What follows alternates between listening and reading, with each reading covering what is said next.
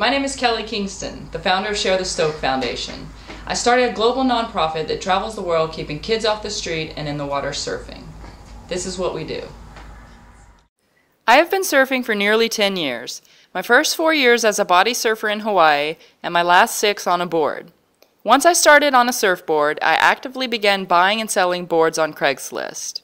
I'd frequently buy and trade boards online, searching for the ultimate ride. In December of 2007, I was trying to sell a board online and was having no success. Given the holiday season, I decided I would list the board for free on Craigslist, offering it to an underprivileged child who would write a compelling letter explaining why they deserved it. Within a couple of days, I had about 40 letters from kids asking for the free board.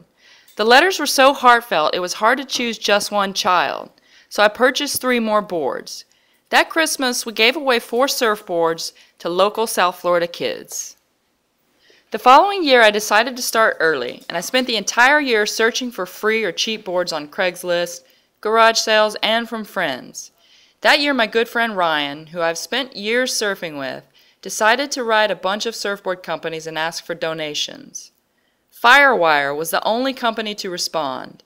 They made a donation of five surfboards. That was 2008, and without knowing it, Firewire drastically altered the course of my life and the lives of children around the world. It was also around this time that my family and I started taking surf trips. We would often travel to Central America and would see local kids sitting on the beach watching us surf their breaks.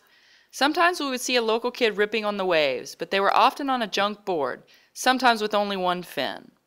Something seemed so unjust about traveling to beautiful places, surfing in perfect waves, and seeing the local kids longing to have this experience. I decided enough was enough. In 2011, Share the Stoke Foundation was established as a nonprofit organization. Our outreach program encourages disadvantaged children to write letters requesting surfboards. As we receive the letters, we partner with local surf groups in their area that assist us in locating the children and enrolling them in the program. To date, we've impacted children in Florida, California, Nicaragua, Costa Rica, Bali, El Salvador, and Jamaica. Once the children receive the boards, we monitor their progress through an appointed ambassador in their area.